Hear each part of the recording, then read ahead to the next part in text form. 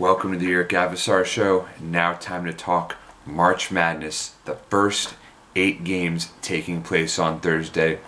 I'm going to tell you what to watch for, who will be the most exciting players to watch, and of course, for all you gamblers out there, who's going to cover each spread. So, uh, starting things off on Thursday, the first game to tip off is going to be Louisville taking on Minnesota. Daniel Coffey and Jordan Murphy are two really good players for the Gophers, but they're not going to be enough to get it done against the likes of Jordan Nwora, who has improved so much uh, as a sophomore under the guidance of Louisville head coach Chris Mack. Uh, who frankly should have been awarded ACC Coach of the Year after the Cards were picked to finish 11th in the conference, and here they are, a seven seed in the Big Dance. And they also have Dwayne Sutton and Steven Enoch uh, in the front court. So they're really going to be physically imposing. And this game really has a three point shooting barrage from Ryan McMahon written all over it. Louisville to cover the 5.5 spread, feeling very confident uh, about that pick. Now, Yale is taking on LSU, uh, the same Yale team uh, or Yale program, you should say. You know, of course, different players now uh, that took down Baylor in the tournament not too long ago. They are led by Miye Oni, who has averaged over 17 points a game and six rebounds a game. Uh, I really like Yale because they can shoot the three. They have uh, really solid uh, free throw shooters. This is Free Throw Awareness Month, and you know the Tigers are built to win close games. They've played in seven, yes, seven overtime games this season. So certainly don't think uh, LSU is going to cover uh, the 7.5 point spread. I'm actually picking Yale uh, to win this game. You know, Tremont Waters for LSU is a really talented point guard. Naz Reid could just as easily take over this game or lay a complete dud. Whatever LSU accomplishes this season will likely be taken away from the NCAA. They have a dark cloud hanging over the program, and I think Yale will be the beneficiaries here.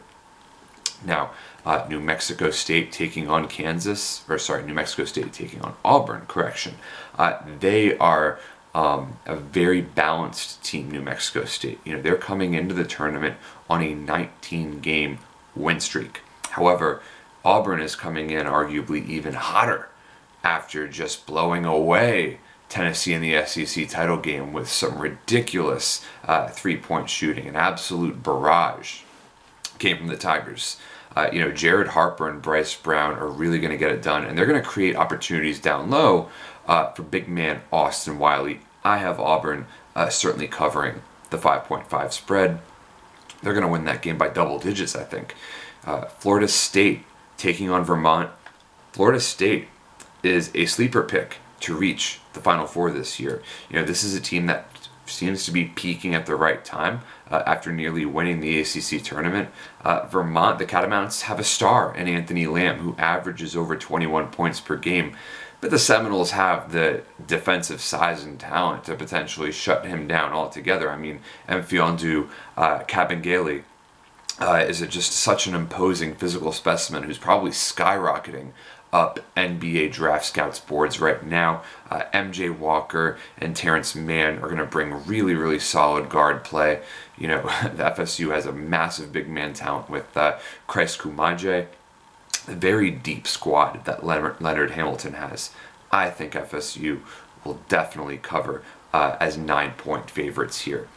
Michigan State playing uh, uh, up against uh, Bradley Bradley is most known right now for denying a 29 year veteran reporter uh, access to cover the team.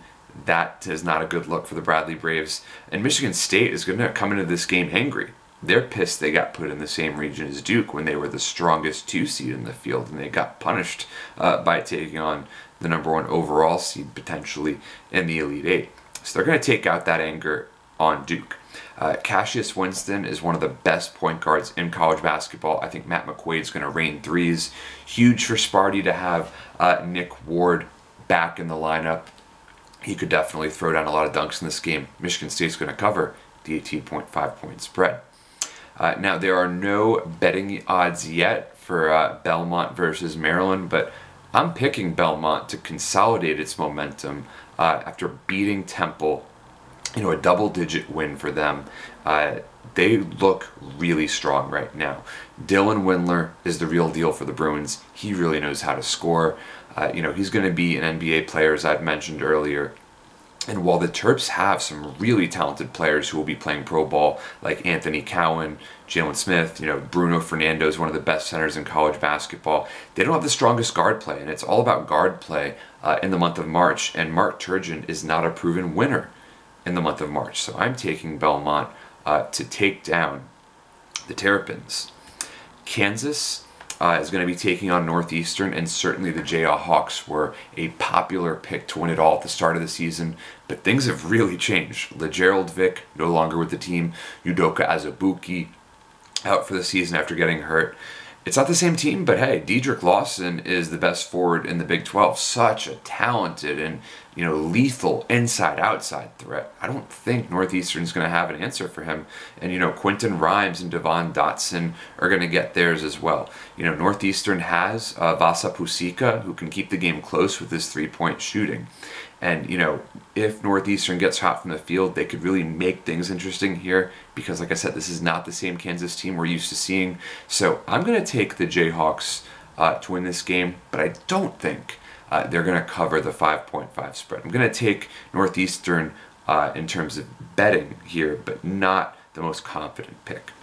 Now, the best matchup of the first round is Marquette Murray State. Certainly the best individual matchup of the first round is Ja Morant, soon to be likely top five NBA draft pick. You know, the sophomore going up against Marquette's uh, Markus Howard, who was recently named Big East Player of the Year. The Golden Eagles have to put a really controversial and awfully officiated Big East semifinal loss to Seton Hall behind them you know, Markus Howard is capable of just absolutely going off. He has scored 50 points before. Uh, but here's the thing Ja Morant can give Markus Howard fits defensively, but that is not the case vice versa. Markus Howard is not going to shut down Ja Morant.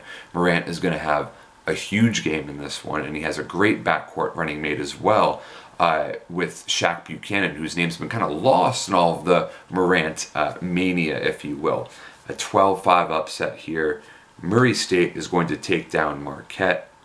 So Marquette being the 3.5 favorite here, they're going to blow it. You know, they have the Hauser brothers. They have a really solid offense, but so much of it is based around Markus Howard, and I think he is not going to have the game he needs for Marquette to win this game. I really like Murray State in this one. So thank you all so much for tuning in, and enjoy the most wonderful time of the year.